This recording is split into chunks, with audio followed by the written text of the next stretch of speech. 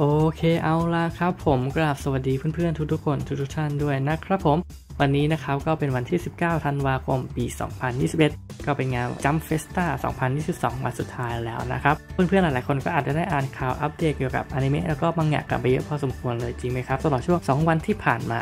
ซึ่งแน่นอนครับว่าเป็นงาน Jump Festa ทั้งที ก็จะมีการอัปเดตข่าวการ์ตูนข่าวมังงะข่าวอนิเมะในเครือของจัมประจำปีอย่างจัดหนักจัดเต็มกันเลยทีเดียวนะครับ ซึ่งในปีนี้นะครับก็ยังคงความตื่นเต้นไว้ได้ดีมากๆเลยนะครับแล้วเราก็คงจะปฏิเสธไม่ได้นะครับว่าทางจัมหรือว่าทางช่วยชาเองเนี่ยก็มีการ์ตูนมีมังงะน้ำดีที่พร้อมจะปล่อยของพร้อมมาเซอร์ไพรส์ให้เราได้รับชมได้รับฟังกันอยู่ตลอดเวลาเลยจริงนะฮะอย่างไรก็ดีครับที่ทำให้ผมรู้สึกไฮแล้วก็รู้สึกตื่นเต้นมากๆเลยเนี่ยก็จะเป็น PV ที่ 2 ของ Spy Family ครับที่มีการประกาศนักพากย์หลักในเรื่องที่ได้คุณฮายามิซาโอริหรือฮายามินมาพากย์เป็นตัวละครหลักมาพากย์เป็นนางเอกของเรื่องให้อีกด้วย ซึ่งในฐานะที่ผมเป็นคนที่ชื่นชอบเป็นแฟนคลับของคุณฮายามินอยู่แล้วเนี่ยก็ทำให้รู้สึกไฮทำให้รู้สึกตื่นเต้นมากๆเลยนะฮะแถมงานภาพที่ได้ออกมาจาก PV เนี่ยก็ออกมาสวยงามดูดีแล้วก็น่ารักมากๆด้วย ซึ่งโดนใจผมมากๆเลยนะครับซึ่งผลงานของ v i s Studio กับ Cover Work ที่ได้ออกมาเนี่ยนะครับก็รับประกันคุณภาพรับประกันฝีมือรับประกันผลงานในระดับหนึ่งแล้วนะครับ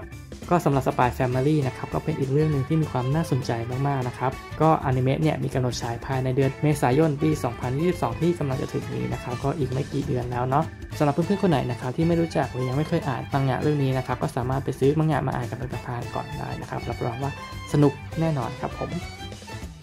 เอาละต่อมามาเข้าสู่ main course มาเข้าสู่หัวข้อหลักของเราในวันนี้กันเลยแล้วกันนะฮะสำหรับการ์ตูนเรื่องนี้จิโกคุราคุหรือว่าสุขาวดีอเวจีนั่นเองครับ สำหรับเพื่อนๆคนไหนที่ติดตามผมมาได้สักระยะหนึ่งแล้วเนี่ยอาจจะเคยเห็นคลิปสุขาวดีอเวจีที่ผมเคยทำลงช่องไปเมื่อช่วงเดือนเมษายนที่ผ่านมาบ้างไม่มากก็น้อยแล้วจริงไหมฮะ ก็สุขาวดีอเวจีนะครับเป็นการ์ตูนเรื่องหนึ่งที่ผมชื่นชอบมากๆเลยนะครับตั้งแต่ตอนที่อ่านตอนแรก ๆแล้วนะครับแล้วก็ในวิดีโอในวันนั้นของผมนะครับก็ได้มีการคาดเดากันด้วยนะครับว่าจะมีสตูดิโอไหนที่รับการ์ตูนเรื่องนี้ไปจัดทำเป็นอนิเมะซึ่งในวันนี้นะครับในงาน Jump Festa ในวันนี้เนี่ยก็มีการประกาศสตูดิโอผู้จะทำออกมาอย่างเป็นทางการแล้วนะครับนั่นก็คือ Mappa Studio ของเรานั่นเองครับก็ตามที่คาดการณ์กันไว้ในวิดีโอในวันนั้นเลยนะครับ เพราะว่าต้องยอมรับจริงๆนะครับว่า Mappa Studio เนี่ยมีลายเส้นแล้วก็ผลงานอนิเมะเนี่ยที่มีความคล้ายคลึงกับลายเส้นหลักของอาจารย์คาคุยูจิ ผู้แต่งสุขาวดีอเวจีเรื่องนี้อยู่ในระดับหนึ่งเลยทีเดียว ซึ่งในงานนะครับก็ยังมีการปล่อย trailer มีการปล่อย PV แรกออกมาให้เราได้ดูกันอีกด้วยนะครับ ซึ่งทีวีอนิเมะนะครับมีการประกาศว่าจะฉายออกอากาศภายในช่วงฤดูใบไม้ร่วงของประเทศญี่ปุ่นนะครับในปี 2022 ที่กำลังจะถึงนี้นะครับก็ประมาณช่วงเดือนกันยายนถึงพฤศจิกายนปีหน้านะครับ แต่อย่างไรก็ดีครับนอกเหนือไปจากนี้นะครับ นอกจากการประกาศสตูดิโอผู้จัดทำกับ PV ตัวอย่างใหม่ แล้วก็วันฉายอย่างเป็นทางการแล้วเนี่ยตอนนี้ก็ยังไม่มีการประกาศเซยูประกาศทีมนักพากย์ออกมาอย่างเป็นทางการนะครับซึ่งเราน่าจะต้องรอลุ้นกันต่อไปนะครับว่าจะมีการประกาศเพิ่มเติมอีกทีเมื่อไหร่แต่ดูจากทรงของ Mappa แล้วเนี่ยนะครับน่าจะอีกสักพักใหญ่ๆเลยนะครับเพราะว่าตอนนี้ขนาด Chainsaw Man นะครับก็ยังไม่มีการประกาศเซยูเพิ่มเติมเลยแล้วครับแล้วก็ต้องรอลุ้นอดใจกันต่อไปอีกสักนิดนึงแล้วกันเนาะแต่ที่จริงนะครับถ้าว่ากันตามตรงแล้ว Mappa Studio เนี่ยเป็นสตูดิโอที่ขยันรับงานมากจริงๆนะครับเนี่ยงานของ Mappa ในตอนนี้เนี่ยนะครับถือว่าเยอะมากๆเลยทีเดียว แถมแต่ละเรื่องนี่ก็ไม่ธรรมดากันทั้งนั้นด้วยนะครับไม่ว่าจะเป็น Jujutsu Kaisen Zero the Movie ที่กำลังจะฉายในญี่ปุ่นในช่วงคริสต์มาสที่กำลังจะถึงนี้นะครับแล้วก็จะมี Attack on Titan Final Season part ที่2นะครับที่กำลังจะฉายภายในวันที่ 10 มกราคมปีหน้า ก็อีกไม่กี่อาทิตย์แล้วนะครับ Yuri on Ice the Movie ก็กำลังอยู่ในขั้นตอนการผลิต